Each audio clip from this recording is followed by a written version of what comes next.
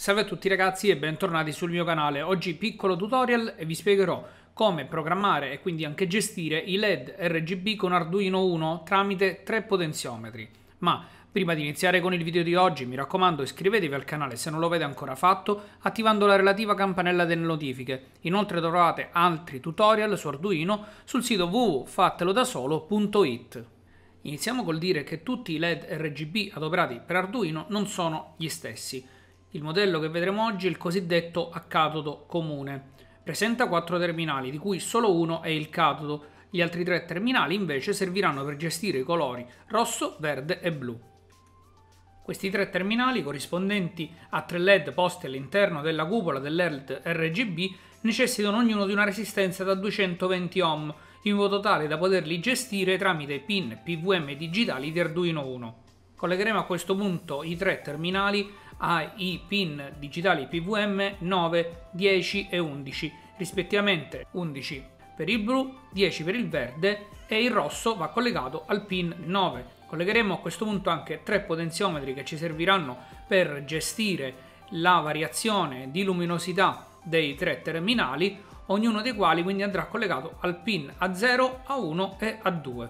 Ricordiamo ovviamente che stiamo utilizzando dei potenziometri rotativi da 10.000 ohm ovviamente il link in descrizione per poter realizzare il progetto che stiamo vedendo oggi. Passiamo a questo punto al codice che è veramente basilare e non ha necessità di uso di librerie. Iniziamo creando 6 variabili intere, di cui 3 dedicate ai potenziometri, P1, P2 e P3, gli altri invece per mappare questi ultimi valori in valori leggibili dall'analog write, quindi dei pin PVM. Queste variabili sono R, G e B. Nel void setup diamo la direzione ai pin digitali 9, 10 e 11 e avviamo semplicemente il monitor seriale. Passiamo subito al void loop dove leggiamo i valori rilevati dalla rotazione dei potenziometri, quindi mappiamo questi segnali analogici in valori PVM che saranno poi inviati ai rispettivi pin digitali tramite la funzione analog write. Stampiamo tutto su monitor seriale e impostiamo un delay di 5 millisecondi.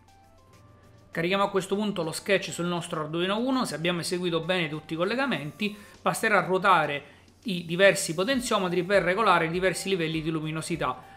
Se li portiamo tutti e tre al massimo otterremo la colorazione bianca, mentre se li ruotiamo completamente uno alla volta otterremo i diversi colori red, green e blue.